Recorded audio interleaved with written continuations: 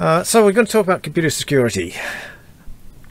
Uh, this is quite a broad area of topics um, to encompass a number of aspects of computer security and uh, so it's a bit of a sort of eclectic collection of, uh, of things to talk about.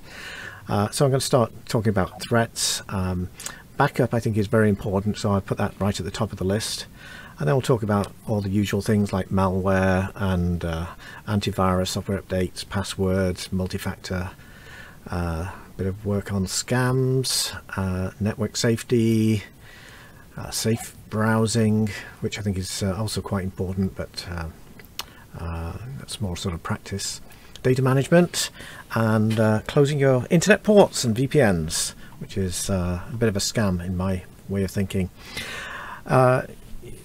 This uh, uh, this list of topics is actually similar to uh, something Brad uh, Victor Alpha 7 Bravo Whiskey X-Ray did a little while ago and I did use his um, his information as a checklist to uh, help prepare this. Uh, I also need to acknowledge that there are a few people on this call probably who know as much if not more than I do and and so there's a lot of other expertise in here and there may be maybe some different opinions on uh, things and the best practices but uh, I think at this level um, any anything we can do is going to be an improvement.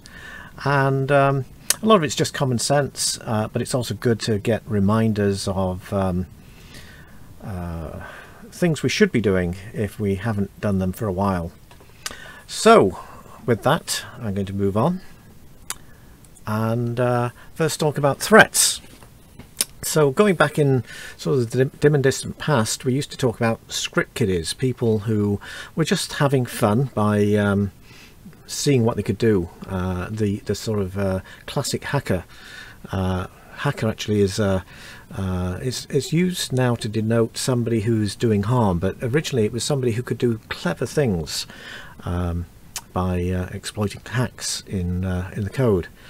And um, nowadays well, I don't know if script is around, but uh, but that's not what's happening with the the bad things happening on computers.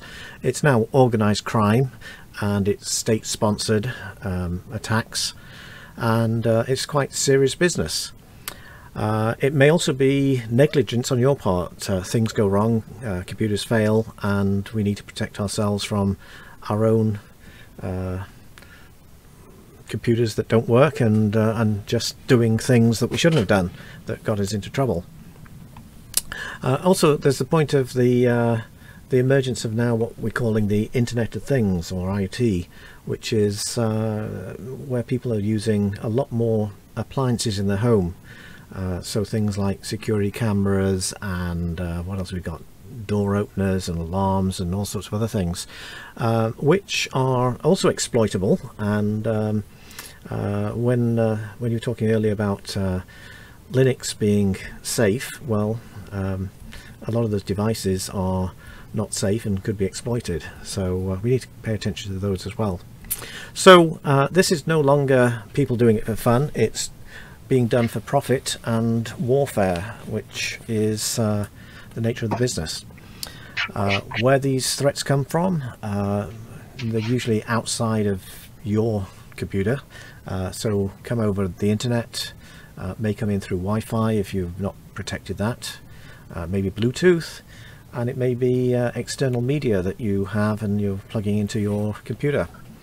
Um, all of those we need to uh, watch out for. So I think the most important thing that we need to do is backup, and that's why I have this right at the top of the list and uh, there are a number of stories I have of people who have lost data and uh, uh, this, this saying at the top uh, there are two, two types of people those that have lost data and those who will um, and which are you. And I've heard of other people uh, losing photographs. That seems to be quite common. Uh, people not backing up and the computer fails and it's gone and it's irrecoverable. So we have to do uh, backup and if you haven't done backup recently you should do it tonight or tomorrow and don't leave it. Uh, the best backup uh, I think is one that's done automatically so you don't have to think about it you don't say I'm going to do it sometime. It's it just just happens. Uh, but you can do it manually, uh, but you have to be really disciplined to do that.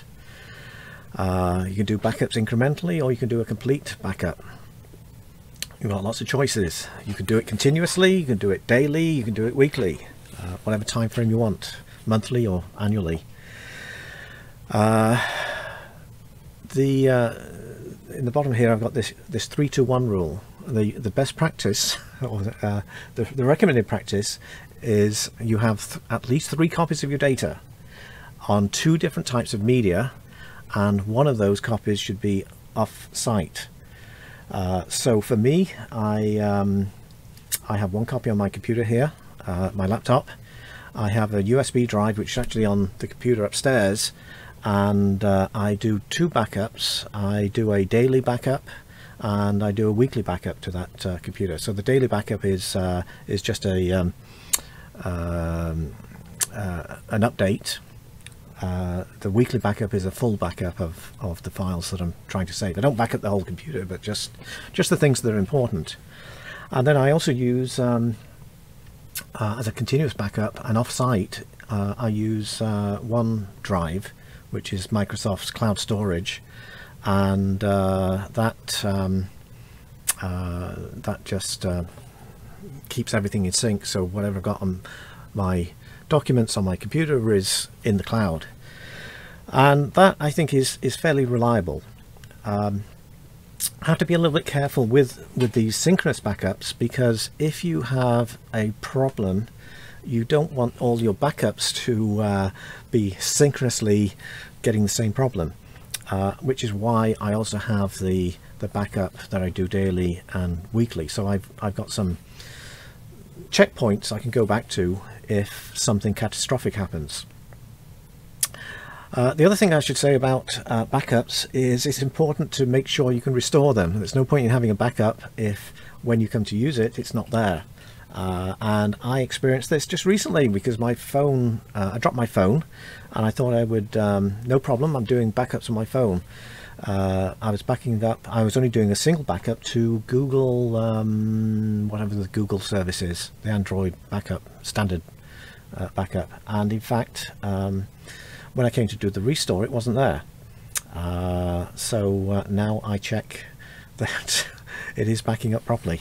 Uh, and the result of that was um, I couldn't move to another uh, well it wasn't worth moving to another phone. I, I had to get the phone repaired uh, which cost me about $300 because I just couldn't face having to start over again with a blank slate. Feel free to ask questions or butt in. Uh, so moving on, malware. Um, there, uh, people often talk about viruses, but we don't talk about viruses anymore because viruses are just one type of a general category of nasty stuff that we call malware. Uh, so you can see some of the ones here. Um, uh, there are some very nasty ones. Um, those were the ones I was going to list on the left, but I forgot one of the most important, which is ransomware. Uh, so the, the common things that happen these days, again, thinking uh, these guys are doing this for money. They're not doing it because they want to just cause harm, uh, but they're going to uh, uh, get you to pay up. So ransomware is where uh, basically they encrypt everything on your um, all of your documents all of your the, the things that you want that are important on your computer. And basically they will offer to sell you the decryption key. And hopefully they're reputable. Well no actually hopefully they're not reputable because you don't really want to pay up. Um, what you want to do is go to your backup and restore from backup and uh, get that nasty uh, malware off your machine um, but there are um, there are cases where people or companies have paid millions, if not billions, of dollars uh, in ransom because um, it, they had to because they would, would, be out of business otherwise. Uh, so that's particularly nasty stuff. Uh, zero-day exploits are, are nasty. Uh, usually, uh, you want to make sure that your computer is up to date. Um, you've got some sort of antivirus running and uh, you're maintaining the software so you're patching it regularly uh, but the zero day exploit is something where um, there's a vulnerability in the in the in the computer or in the uh, the software, and it's unknown. That is, it's not been it's not been patched yet, uh, but the the bad guys have discovered it, and um, and uh, you are exposed. So uh, uh, zero day exploits when they're when they're discovered, uh, companies want to patch those as fast as they can, usually within a day or so. But it's it's a bit of a cat and mouse game of people finding uh, the bad guys finding new exploits and companies trying to patch those. But that also goes to say uh, we need to be on top of it as well in making sure that we keep up to date. Uh, rootkits are also pretty, pretty nasty. So a rootkit is something which is hidden uh, from the operating system. Uh, so a lot of the older viruses you could, you know, you could look at a um, directory listing and you could see the file or you could see the, the service running on the service list and it may be hidden as a legitimate name of a service uh, but at least you could find it.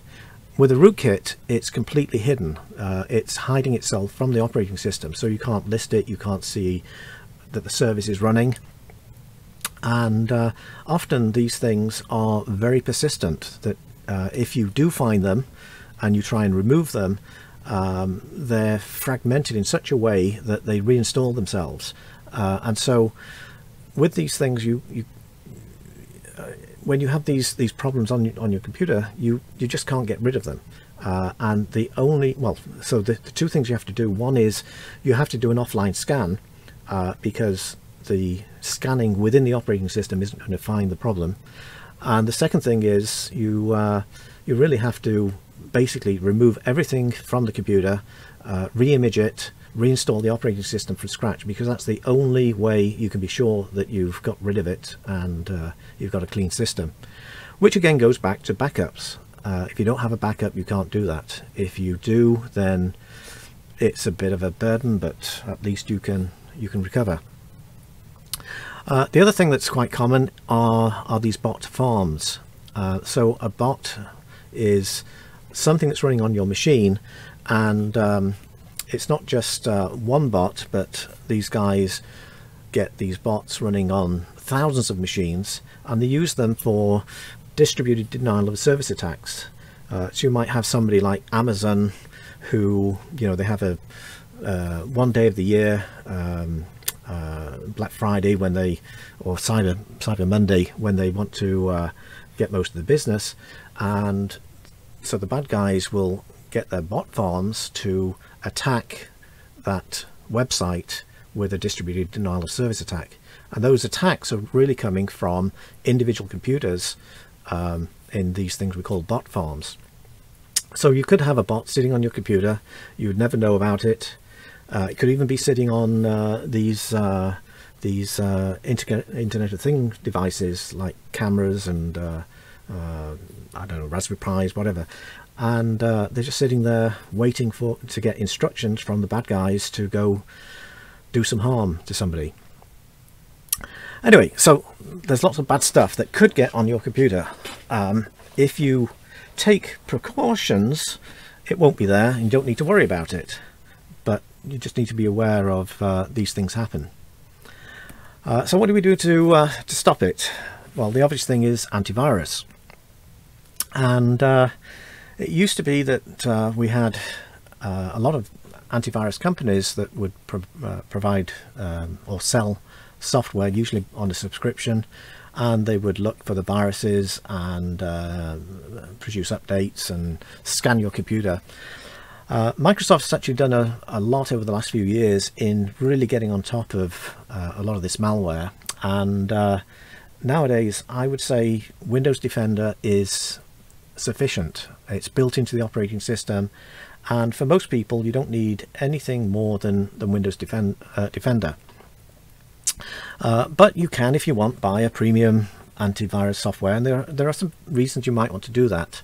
Uh, it's claimed that uh, you know if everybody used the same antivirus uh, program then um, it's easy to target the things that are um, going to be detected by that uh, that piece of software. So it's perhaps good to have competition and variety and um, uh, these these programs often do constant scanning um, of incoming traffic over the network and background scanning of the the storage media uh, looking for things that match the signatures of something that's harmful. Uh, the bad point of that is it's a bit of a performance hog if you've got this thing running and they tend to slow down your machine. So I, I don't favour running premium antivirus software, um, but you can if you want.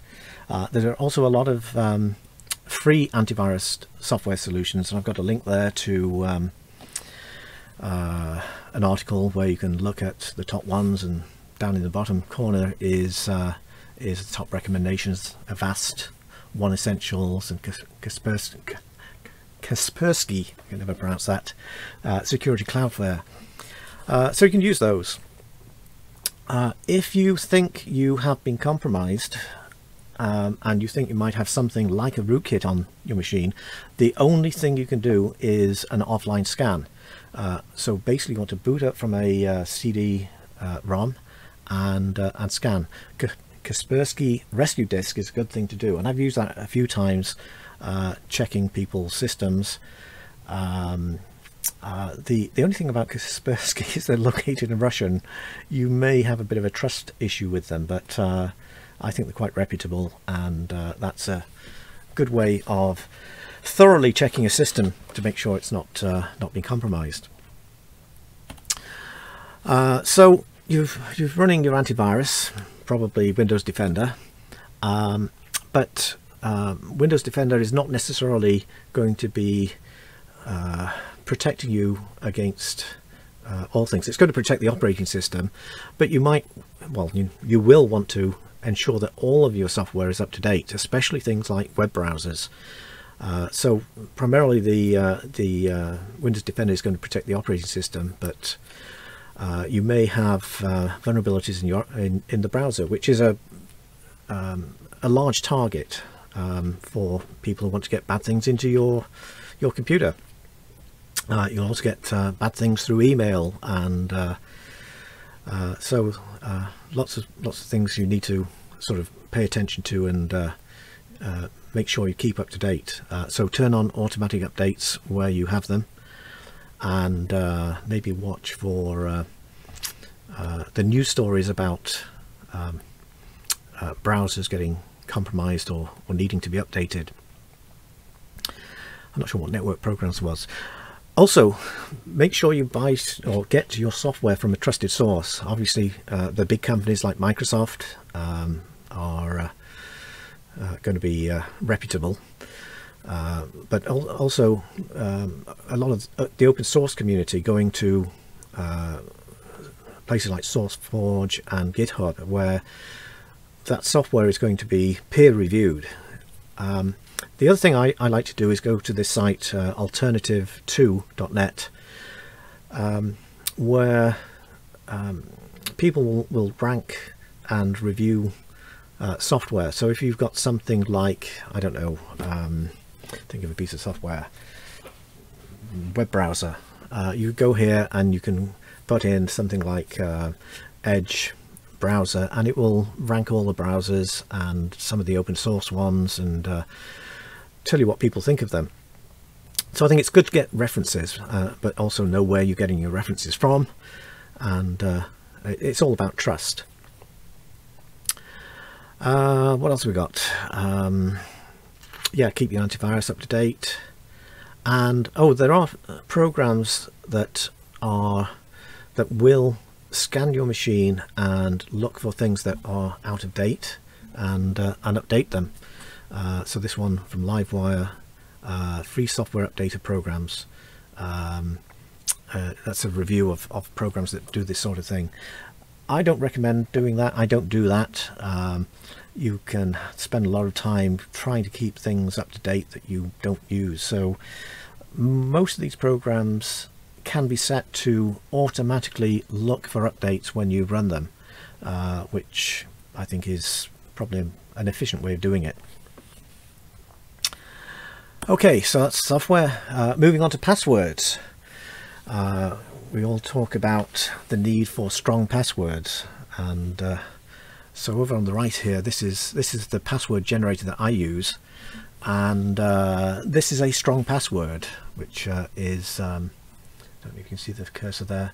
Uh, that's a 12 character basically random set of uppercase lowercase uh, letters numbers and special symbols. That would classify that would be classified as a a reasonably strong password. Something that uh, wouldn't uh, couldn't be compromised by a brute force attack uh, which is what uh, people will do to uh, to try to break into your passwords.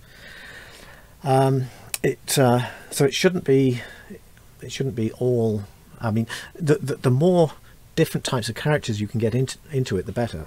So you don't want plain words. You don't want things that are just letters. You want a mixture of letters and numbers and and, and symbols because the, and uppercase and lowercase because the more different types of letter you have uh, the, the the larger the space uh, that has to be tested to brute force something. Um, there is this password checker. I've, I've used this Kaspersky uh, password kaspersky.com uh, you will find, as I did when I tried a few passwords that I've used, um, well, actually, it will tell you uh, whether the password has been compromised. That is, is it on a um, a list of, of passwords that are available, and it will tell you whether it's a strong password. And um, a lot of passwords that I thought were quite strong actually aren't strong and can be, uh, at least according to them, can be cracked in a fairly short period of time. Um, I've actually also cracked passwords myself uh, where people have had computers that uh, they uh, couldn't get into uh, for whatever reason. I mean legitimately they, they lost the password or forgotten the password. I've forgotten my own password um, and um, uh, there are tools you can use to, to crack into computers and um, uh, if you don't have a strong password it's pretty easy. so some of the things that that people suggest because you you may not want a password like this that you can't remember. Yeah. That's why I don't like uh, that's why I don't like submitting some of these passwords. There are passwords I will not submit to them because they are my strong passwords and uh, I know they're strong and I'm not going to I'm not going to reveal them. Uh, and, and in fact uh, I have three classes of, of passwords I use. There are passwords which are um, pretty easy. And they're out there. I know they're out there because I've checked them and uh, they're in lists of passwords that have been uh, revealed. But I don't care because I go to sites and I'm just registering on a site for something and I don't care whether somebody is going to log in as me or not. I mean it doesn't it's not important. Uh, then there are services I use which are um, I'd say uh, things where I, I need a stronger password. And I will use a strong password like one of these uh, 12 character random letters. And um, that's that's good enough. And then there are the uh, the financial things. Yes. We'll get onto that in a moment. Uh, then there are the financial uh, things. So my banking information and uh, things like that. Um, I also use my my uh, Google um, personal account uh, I have a very strong password. And I don't write it down even in my password manager and I will never uh, put it on the internet uh, because uh, that is pretty it would be a significant loss if that got out in the, into the wild. So I've got secret passwords as well as uh, strong passwords. Um, but um, uh, one of the things you, you probably want to use is a password manager and uh, uh, there are several password managers. I use one. I use LastPass. Uh, 1Password is actually a Canadian company and um, they just got some funding. Um, uh, they're quite, I guess, reputable. If you don't like commercial password managers, um, you can use a um, open source one like KeePass, uh, which will do the job. Uh, one of the advantages of something like LastPass and 1Password is that the um, you can have it on multiple devices and keep it in, in uh, keep everything synchronized and uh, with these password managers, I there there are things I can't I can't remember the password, uh, but these password managers will populate the field. So I'll go to a website, and um, where you would normally enter your username and password, the password manager will automatically populate that, and then I'll just click log in. So they, they're quite a convenience, but you do have to pay for them. Uh, 1Password, I believe you have to pay for, um, irrespective of how you use it. Uh, LastPass uh, have a free version which is limited. So with the free version, you can only use it on a single type of device. So you can de decide whether you want it on your phone or your computer, but you can't have it on both, and it's not going to synchronize. Uh, yeah, and they're family pans as well. So I think these have uh, have a five. Um, uh, I guess a five unit license so you can have your own own family. I would strongly recommend nowadays using a, a password manager. Um, uh, oh, and browsers actually have uh, often the ability to store passwords uh, in them. Uh, quite often you'll go onto a website and the, the browser will say, do you want me to save this password? Uh, the problem with that is if the browser gets compromised you may have lost your password as well. Uh, so I don't recommend using that. Uh, I trust password managers, but not browsers. Uh, don't take your password manager password on your monitor. Okay, yes. Uh, there's the, uh, often some of these ideas change with time. It used to be that people said you should change your password every three months or whatever. Uh, nowadays, they say you shouldn't do that because if the password's not been compromised, there's no point in changing it. And um, uh, so the recommendation is you you keep your password unless you know that it's been compromised. Uh, the other thing is about writing it down. Uh, it used to be said that you should not write down the password. The problem with that is we want you to use strong passwords that you can't remember, so you really need to write them down. Um, you could have a book. You don't want to put it on a sticky piece of paper above your computer, but you uh, you might have it. Uh, I mean, ideally, use a password manager. There we go. Moving along, the solution to this whole password problem is what we call multi-factor authentication. Uh, so the idea is we use more than one factor of protection. So a password is one factor and uh, generally we talk about these three different types of factor. There's something you know, like a password. There's something that you have, like a physical device or a key. Uh, or there's something you are, like you've got a fingerprint and it's unique. So uh, nowadays people are moving towards two-factor authentication. Uh, a lot of the financial institutions are forcing two-factor authentication and uh, um, some of these two factors are better than others. Uh, so banks will often use things like email and SMS to send you a code that you then have to type in, which is an improvement. But the problem is uh, your your uh, text or your phone or your email can be compromised. Uh, so the phone, for instance, it's quite possible for somebody to call your phone provider and steal your phone number and have it routed to a different phone and then they will log into your bank and get the two fact the second factor the SMS the text message and uh, there they have your account so the the ones that I prefer are keys and authenticators so the key is uh, is like this one on the screen. It's a uh, this is the YubiKey. Um, uh, also, Google produce uh, or distribute one called the Titan Security Key. Uh, and uh, these you plug into the USB uh, on your computer and you press the button on the top and it injects a cryptographic code into the computer that is sent over the network and it checks it, it runs its magic. Uh, the other type is the authenticator, which you see on the right here, where you've got, um, uh, this will run on your phone or your computer, and it will generate, every 60 minutes, will generate a new code. And again, this is synchronized with uh, the service that you're logging into. so um, even if somebody your code, it's going to change in a uh, a few seconds, um, and uh, um, it's it's not something that can be um, easily compromised. The um, I I have some of these keys. I also use an authenticator. Uh, supposedly the keys are intended to be more convenient because you don't have to pull out your phone and read out the number and transcribe it.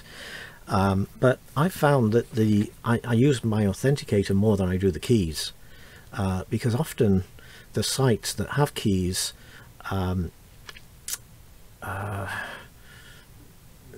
they provide multiple ways or multiple second factors. So you can have a key and an authenticated device and um, I just find it more convenient to carry the my phone which has all my uh, codes on it. Uh, so many companies produce these authenticators Google Microsoft uh, LastPass uh, Authy. I prefer uh, my my go-to is Authy uh, primarily because, yeah, Patricia likes Authy, because um, again, I can have it on multiple devices um, and uh, it uh, basically synchronizes with the cloud so that if I want to put it onto a new device, I can I can do that. Um, I like to keep it on multiple devices because if I break my phone, I can bring out my tablet I've got the same authenticator on my tablet. Um, so uh, those are the ones I prefer, but you're free to use any, uh, but you should be using one. Uh, two-factor authentication is good, and it really eliminates uh, a lot of the requirements for a strong password. You can use a weak password because you've got two-factor authentication, and uh, that's uh, that's good. Okay, I'll have to stop reading these comments. Um, also, I, I, I notice a lot of people seem to want to log out of things and the problem with logging out is you have to log back in. Uh, there are lots of things that if if you have your own computer and nobody else is going to use it, you don't need to log out and you can just rely on the fact that uh, once you're logged in there's a token stored as a cookie and um, next time you go to the site you'll still be logged in. Um, so I generally don't log out of things uh, uh, unless I'm forced to. Like banks force me to log out. But things like uh, Google, for instance, my email, I, I never log out. Uh, we need to be aware of scams. Uh, so uh, scams get to us uh, through some of the methods we talked about, email, uh, through websites, um, social media accounts, and the fact that you've got an email from somebody you know or you're getting a uh, a message on Facebook from somebody you know doesn't mean that that is coming from that legitimate source. It could be that those accounts have been compromised, which is often the case with viruses, um, or they've cloned somebody's account. So you need to be really skeptical of anything that you receive. Uh, so basically assume things are not what they seem to be unless you know otherwise. Um, phishing is a common uh, form of attack where uh, I'm sure most people have seen these by now. Uh, you get a, a, request that looks as though it comes from a legitimate site and they're asking you to log in and confirm uh, information and really what they're doing is just uh, looking for you to reveal information which might be um, account information, login, password or uh, your credit card information or some some information that they would like to get hold of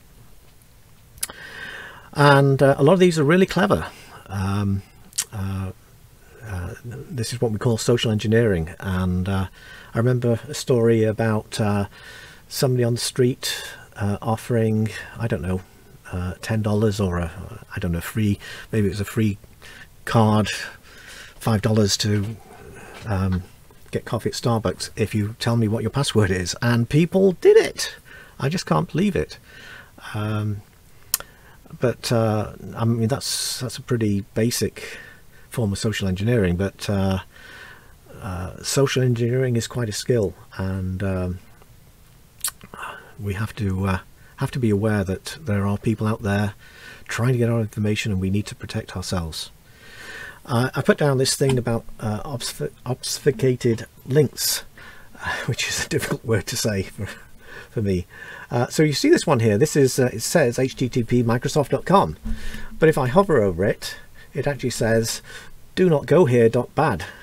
Um, the fact that you see links that look legitimate in an email or a, on a website um, um, it may not be the site that you were expecting and those links may not be valid and you um, you have to do a bit of due diligence to confirm that you're you're, you're going to the correct site so if you get a, a message from uh, your bank and they even know your account number because that's been revealed somehow um, and they're asking you to re re-authenticate don't click on the link.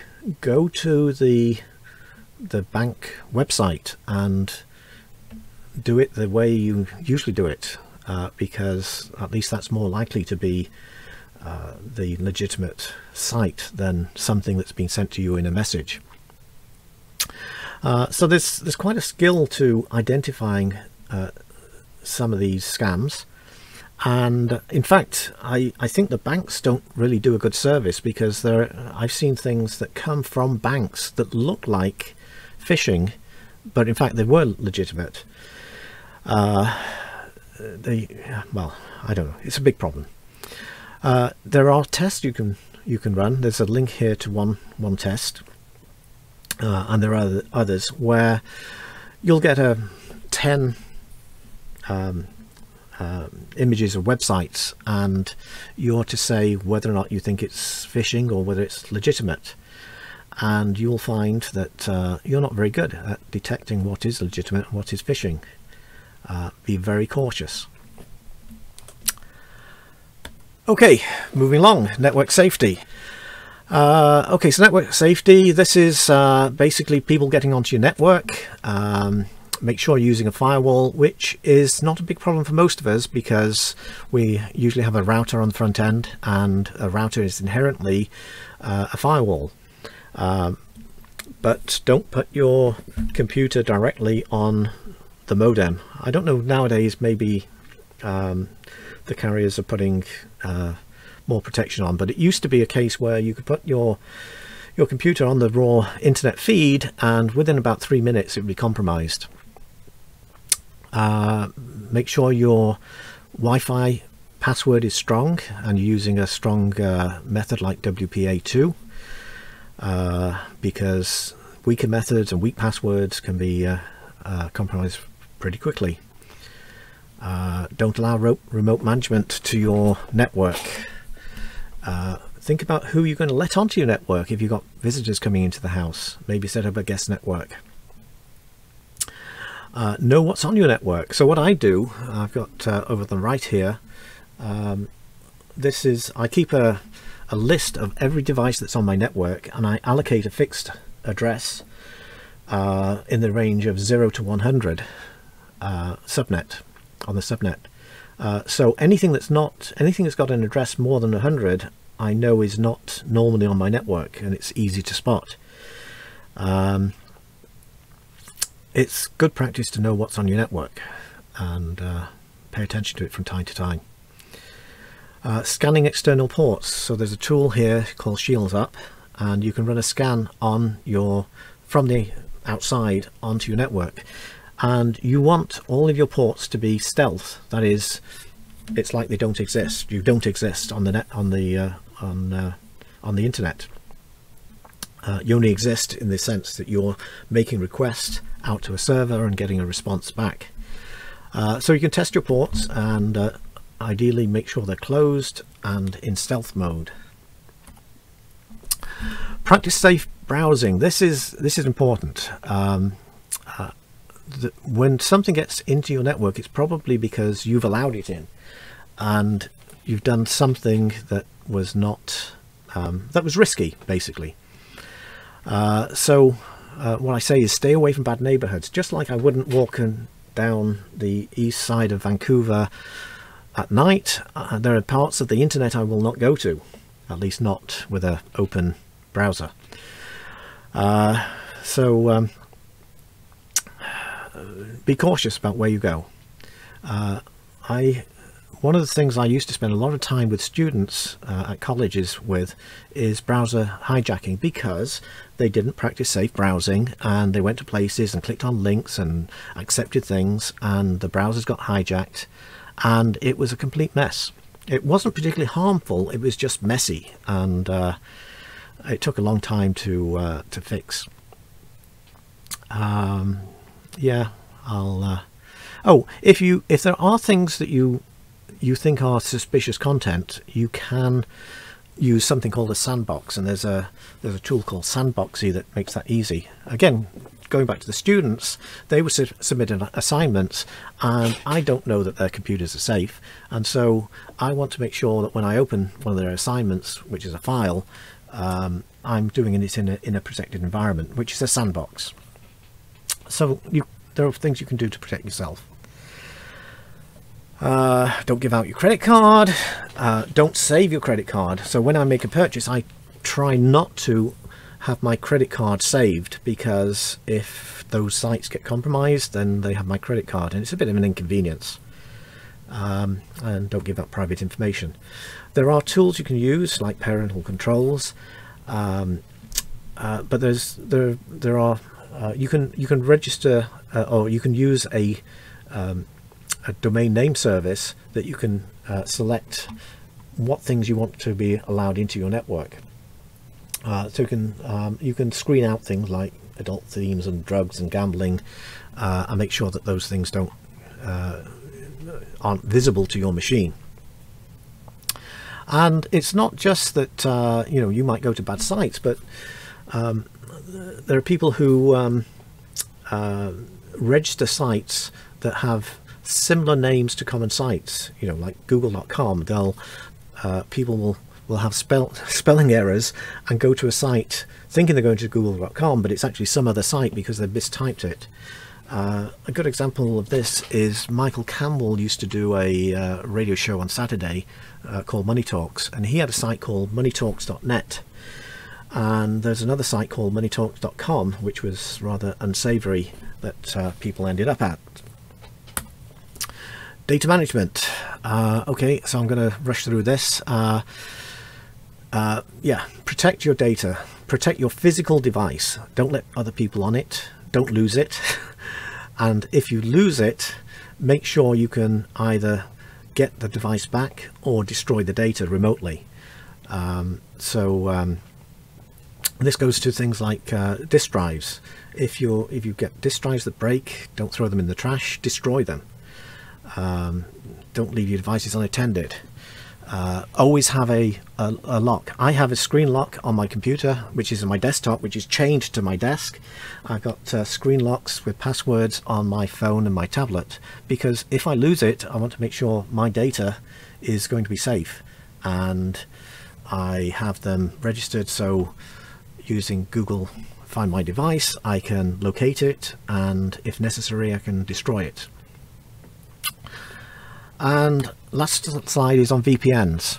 So VPNs used to be useful. Uh, when people went into coffee shops, they'd use a VPN because they didn't want people sniffing their traffic over the public Wi-Fi. Nowadays, a lot of the um, use of uh, of uh, services is encrypted and it's safe anyway. So the, the the value of VPNs is really diminished, but a lot of companies are selling VPNs as safe online protection, but it's really not necessary anymore. And there's no real need to buy VPNs unless you want to use it for other purposes like um, changing your point of presence. Uh, so you have to think about VPNs are only protecting you on that link to the exit point of the VPN. Um, so if you're on a wireless network, yeah, it can protect you on the wireless network, but it's not protecting you on the internet because the traffic's still going out over the internet. Um, but nowadays, you'll see uh, these things uh, on your browser. You'll have a lock showing that you're using an encrypted connection, or you'll have something showing it's not secure because it's it's not encrypted. Uh, so you should be aware. It's fairly visible whether or not you're protected. And the last slide, top 10 checklist. So these are the things you're going to do when you leave tonight or tomorrow. You're going to set up automate, automated backward, backup. You're going to check your You've got antivirus operating uh, on your operating system. You're going to perform your software updates. You're going to get a password manager and you're going to use two-factor authentication where possible. You're going to watch out for scams, ensure the network is secure. That is your, uh, your local network and your Wi-Fi. You're going to check your internet ports. You're going to practice safe browsing and you're going to protect your physical devices to make sure nobody gets their hands on them.